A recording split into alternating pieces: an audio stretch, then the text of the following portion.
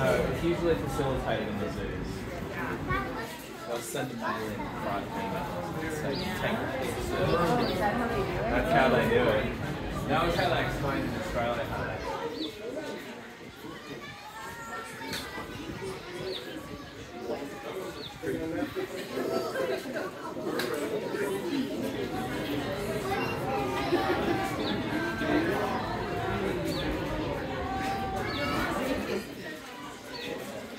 Let